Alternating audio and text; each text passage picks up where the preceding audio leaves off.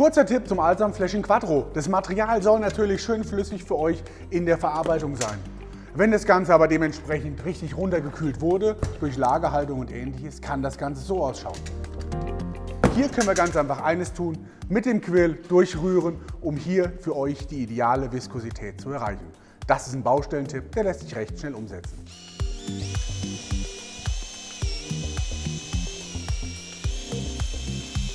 So, hier jetzt die Viskositäten miteinander verglichen. Materialtemperatur 20 Grad, Materialtemperatur 6 Grad. Nach Aufrühren. Dankeschön.